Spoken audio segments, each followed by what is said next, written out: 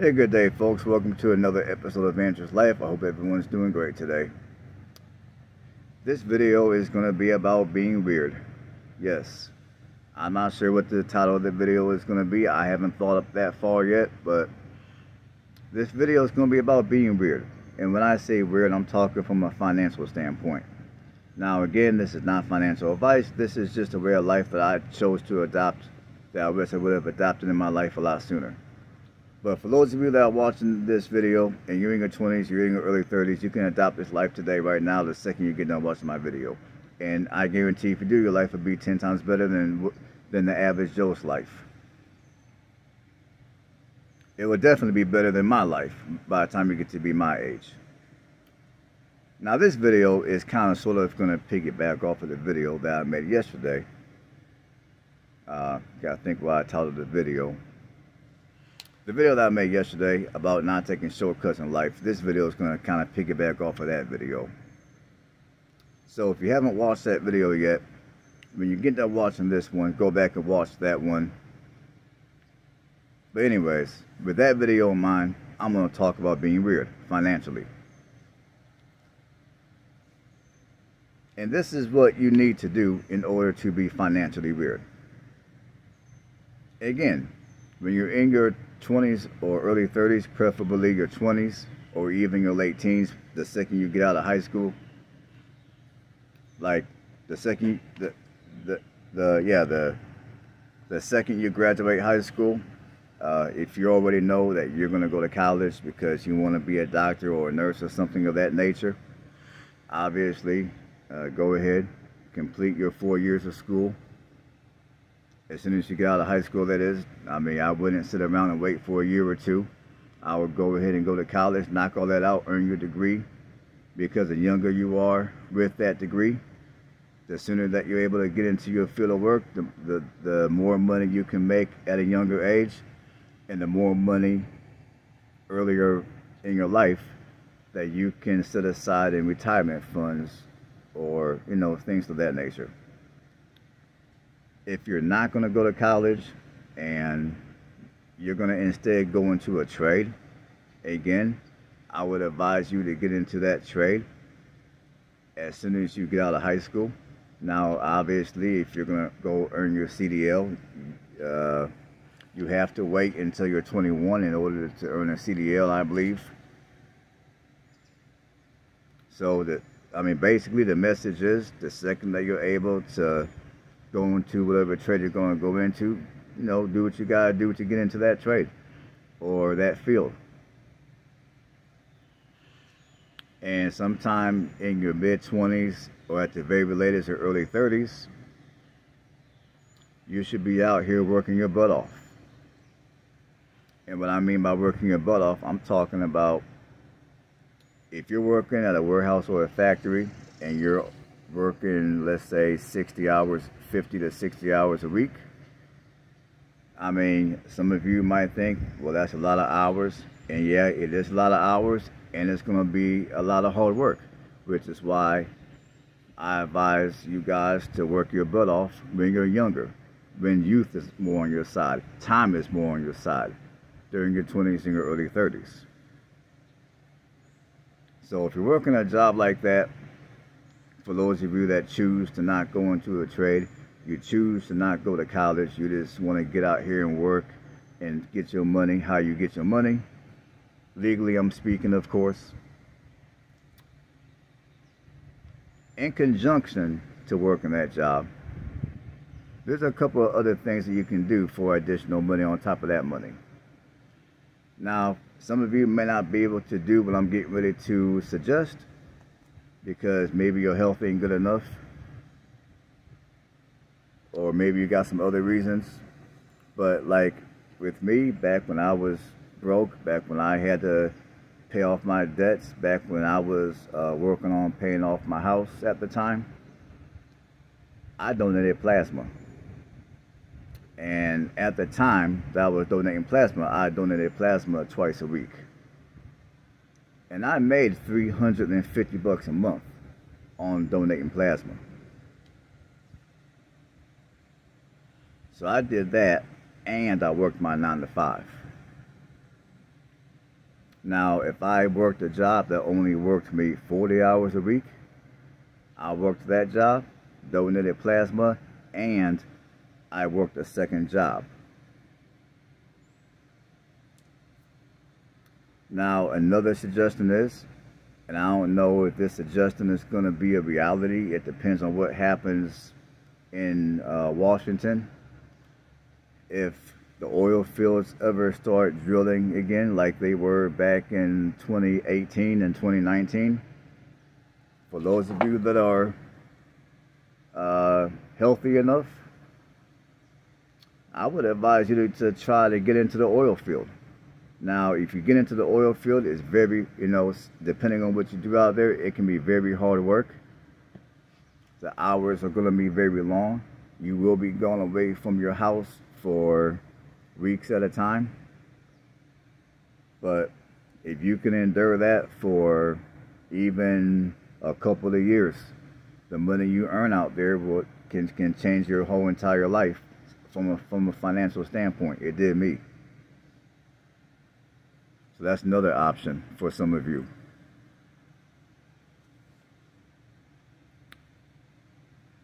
And for those of you that go to school, that choose to go to college and you choose to and you have to take out a student loan now me personally knowing what i know now i wouldn't advise anybody to go to school taking out any student loans but if you choose to go that route obviously the second you graduate school and you get into your job of the and you get into your field the first thing you're going to want to do is you're going to want to completely pay off your student loans you're going to want to do that even before you buy your first home. So, FYI for those of you that choose to go to school. So while you're out here working your butt off during your 20s and your 30s, this is what you're going to want to do with the money that you earn working your butt off. Because you're going to be making a crap load of money. And yes, you will be tired. And no, you will not have a whole lot of time to hang out with your friends. And you fellas are not going to have a whole lot of time to chase the women. But you know what? Bear with me. Because I guarantee when you get older, you will thank me for giving you this piece of advice. So with this money that you're earning because you're out here working your butt off, once you've been working your butt off for, I would say, at least a year, uh, some people might disagree with what I'm getting ready to say, but you're going to want to go ahead and purchase your home. Not rent, but purchase. So once you've been working your butt off for at least a year, you like where you live, you know where you want to live. And another disclaimer I'm going to throw in, this would also be depending on the housing market now, the housing market that we're currently in right now, uh, I wouldn't advise anyone to go out here and purchase a home right now. I would advise you to just sit back and wait if if you're able to. But in the future, when housing prices come down a little bit, which I believe they will, because what's going on right now is not sustainable. But after you've been working your butt off for at least a year, I would advise you to go out and buy yourself a home, not a condo, because you do not want to be in a community to where you're going to have to pay an association. I would advise you to buy a house in a neighborhood to where there is no association.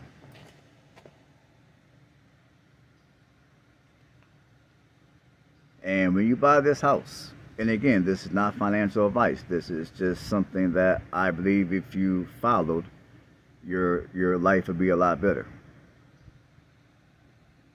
So when buying this house,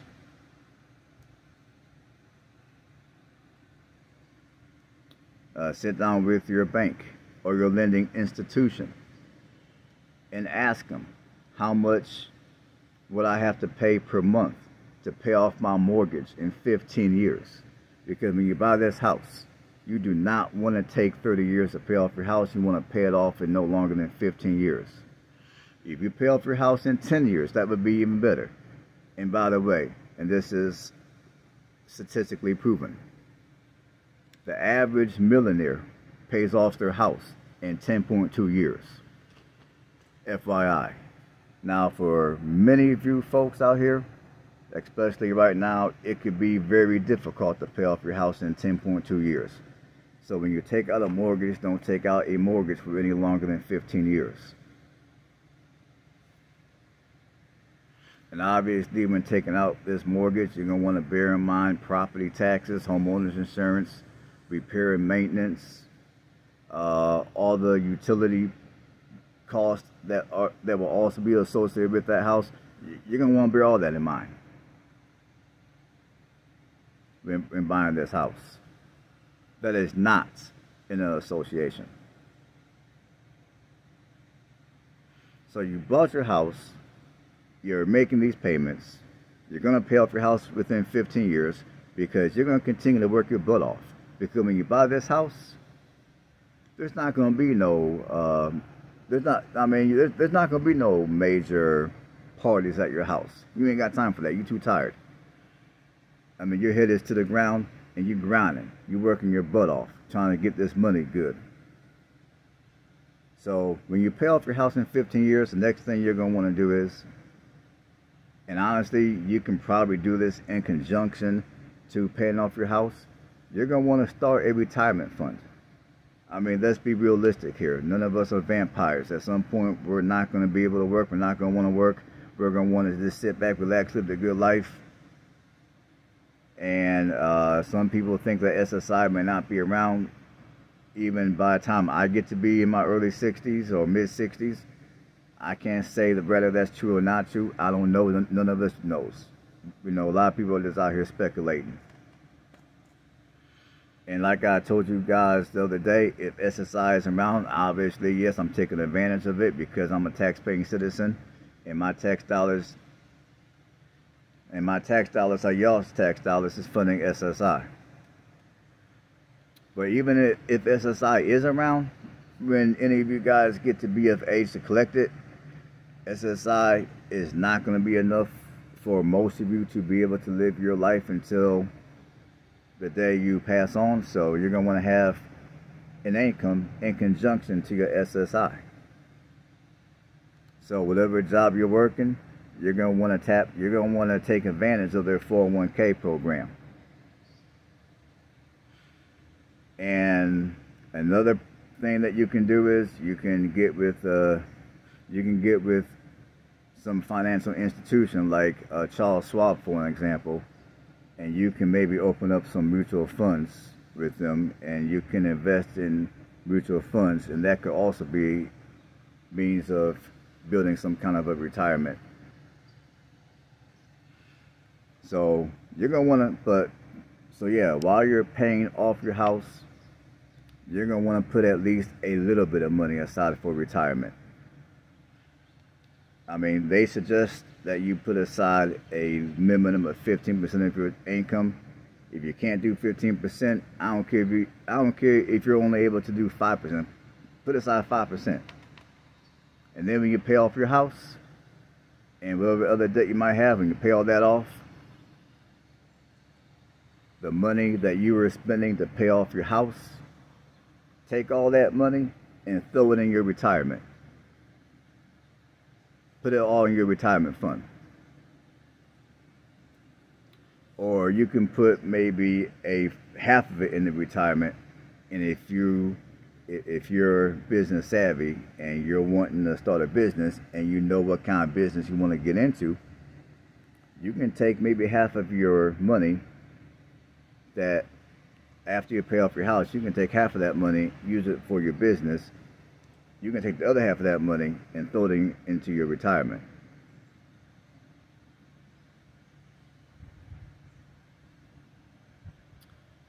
So now that your house is paid off, you've got your retirement fund going, you're, you're putting money into your retirement, what do you do next?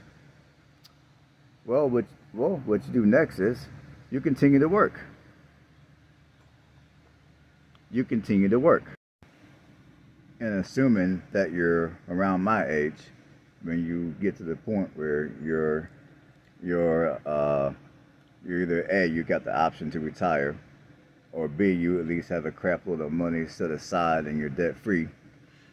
Uh, the reason why I suggest that you continue to work is, for one, working is actually good for your health. Believe it or not, working is actually good for your health. It's good for your mental health, and it's also good for your physical health. And also, when you continue to work, it keeps you from having to dip into the money that you worked hard for, that you worked hard to save. Now, I suppose if you get to be my age and you know you got a crap load of money saved up, and you believe that you have enough money saved up saved up to retire, and you really don't want to work any longer, then you know that's your prerogative. You can do what you do. But I would say for most of you, I would I would suggest that you continue to work. And when continuing to work, you can either continue to work the type of work that you've been doing, or now that you're debt free and you got a little bit of money saved up, you can quit your job, you can get out of your your field and you can get into another field of work. You can do diff- you can do a different type of job. You can work a different type of job if you desire. And one big advantage about being reared during the years that you might still have to work is the fact that you no longer have to work just any old job. You don't have to work a job just because it pays X amount of money and you need that money to be able to pay your bills. You can you now have a choice of what type of a job that you desire to work. If the pay is a little lower, so be it. As long as it's enough to where you can pay all your bills and still set a, a little money aside for retirement and maybe have a little bit of fun, you know, that's all you need. Now, of course, it depends on what type of lifestyle that you desire to live.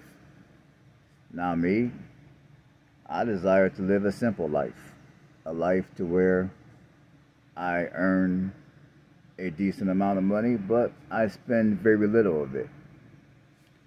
Now, I know some of you, you want to live differently. You want to live more lavishly, and that's cool. You'll just have to adjust your budget accordingly.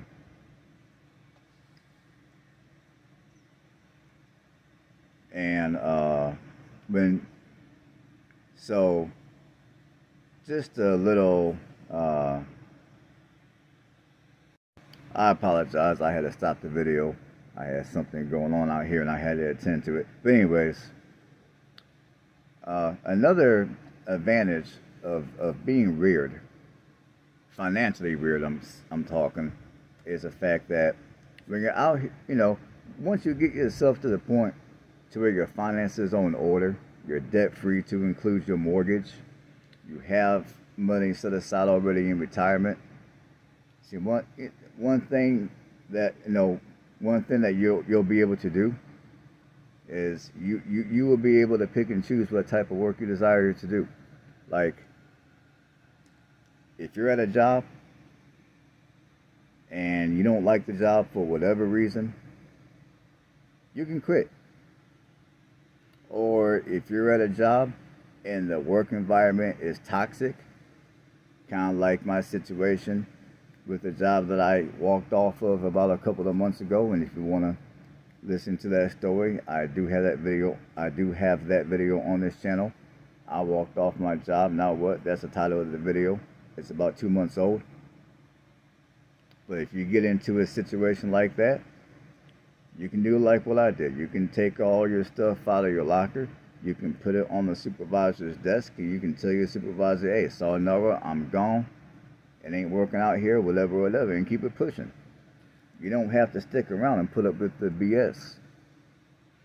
So that's one big advantage that you have over most other people when you choose to live your life financially weird.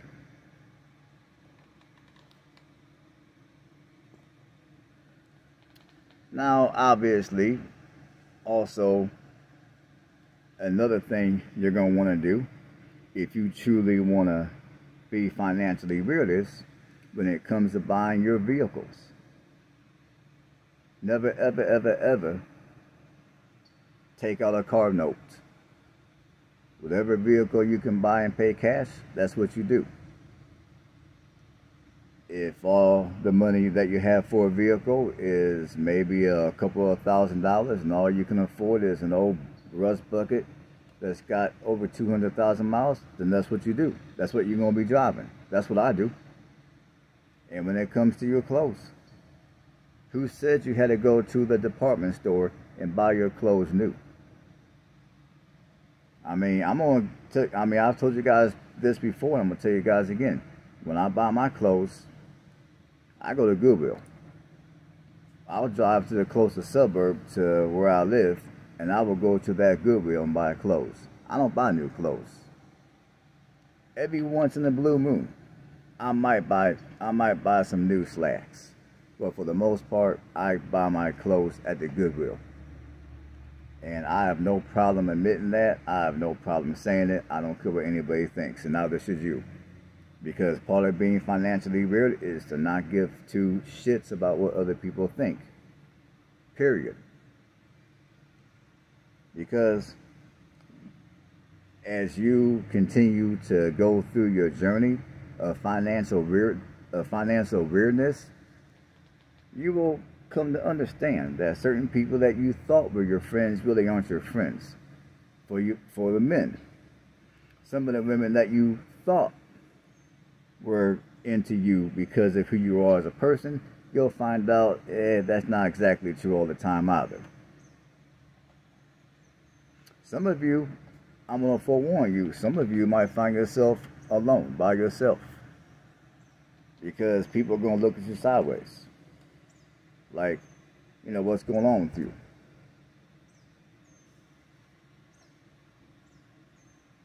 So just be prepared for that.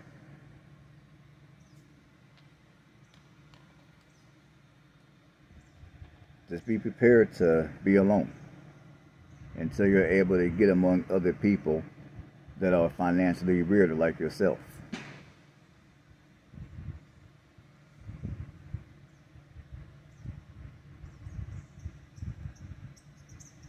Yeah, I just heard something. I just had to look around for a minute.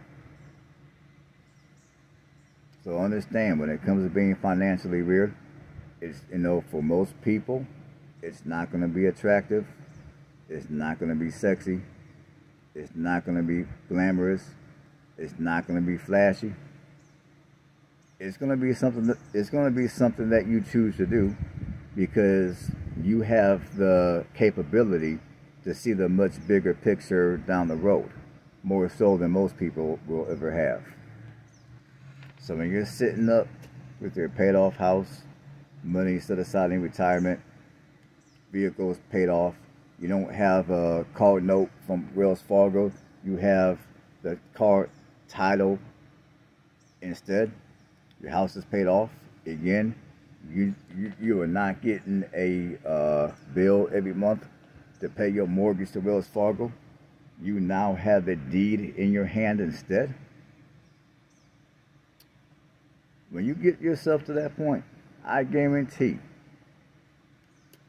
if you watch this video and you take this advice, you will thank me for it. I guarantee you will. Or two, you will at least look up and realize that you're living far better than most other people are while everyone else is out here working and uh, consuming massive amounts of debt to impress people that don't care two shits about them, you will be sitting nice. Everything paid off, money retirement, money in the bank, and you will be able to work a job because you want to work a job, not only because it pays X amount of money and uh, you got to earn that kind of money or better in order to pay all your bills. You can work a lower paying job and still be able to meet all your financial obligations because of how you set yourself up. And another thing that you're gonna not and here's another piece of advice, and I probably should have done this. I probably should have told you this at the beginning of the video, but I'll tell you this right now. Another piece of advice when it comes to being financially real is never, ever, ever, ever tell anybody about your money. Don't tell none of your friends. Don't even tell none of your family. And if you're dating, don't tell them. They they do not need to know any of that kind of information until after. And, and now, when it gets to the point where you and, and like for the fellas out here especially, when it gets to the point where uh, you're getting ready to marry her and you're exchanging personal information about yourself just to make sure that it's still going to be a good move for you two to get married, that's going to be the time to let her know about your journey to finance. That's going to be the time to let her know about your journey uh, to financial weirdness. But until then, she doesn't need to know a darn thing about your money because until then, it is none of her business. In fact, if you're out here dating and for the fellas and the woman asks you, what do you do for work? I mean, if you want to tell them what you do for work, okay, fine, whatever. Now, I know some men that are working higher paying positions, so they might downgrade. Like, they might work as a lawyer, but they'll tell some of these women that they're a supervisor at a warehouse or some stuff. But if you want to tell them the truth, do what you do. Just have the ability to tell old girl no whenever she wants to blow all your money on on a bunch of bullcrap. Just have you know, just be able to tell her no. So don't ever, ever, ever tell anybody about your money. I mean, sometimes it can be tempting to tell people about your money because maybe somebody might look at you and they assume you broke, you dusty, you busted, you ain't got nothing. You, you's a bum, you's a loser, all that. You know what? If they think you're a loser, let them think that you're a loser. You have nothing to prove nobody other than yourself. And for those of you that have a family to take care of, your fam, yourself and your family. Other than that, you have nobody. To, you have nobody out here to prove anything to.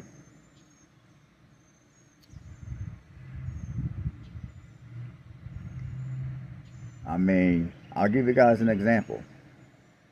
I've I've made several videos about about my uh, difficulty finding the type of work that I want here in Alabama. And there's been people in the comment section on some of those videos that, you know, they, they assume I'm broke. Uh, they assume my money is funny. And you know what? As, as, as my man Redman said it back in 98, I'll be that.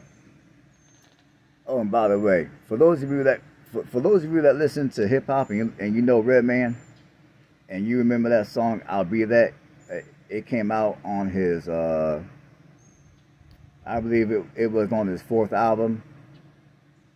I forgot what the album was called, but it was on his fourth album. Album. It came out back in 1998. He had a song called "I'll Be That." So whenever people want to assume that I'm broke, I'm dusty. Whenever people want to get whenever people want to try to get in my pockets, you know what? I'll be that. So, for those of you that want to embark on the journey of financial weirdness, whenever people start trying to get in your pockets and, and they want to call you broke and dusty and busted, you know what? Just remember, I'll be that. And on that note, I know this video was long, and, and for those of you that stuck it out, I appreciate it. And as always, if you like what I do, give this video a thumbs up. If you haven't done so, go ahead and subscribe to the channel. Stay blessed.